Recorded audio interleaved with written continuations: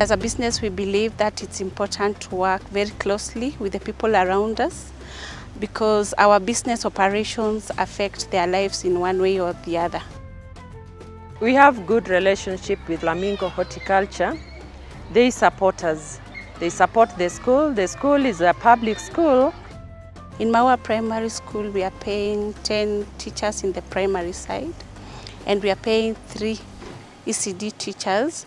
The reason we are doing that is um, there's a high population of pupils and the teacher uh, pupil ratio is not okay. The government has not provided adequate teachers.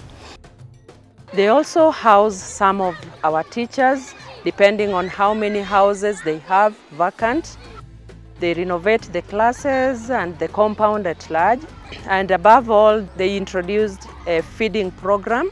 We make nutritious soup with surplus vegetables. Whatever we cannot send to the customer instead of throwing away, we make very nutritious soup from our canteens and we supply the children every day. The reason we do that is we realize most of the kids are coming from very humble backgrounds and they're not able to get a full course meal in a day. We had pupils who could skip coming to school because of lack of food. Immediately they think of staying hungry the whole day in school, they could not come.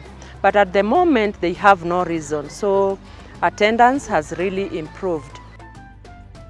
The kids could carry cold food, but now they eat warm food. That is very good for their health, and I think in the long term, we shall also realize very nice results in their exams.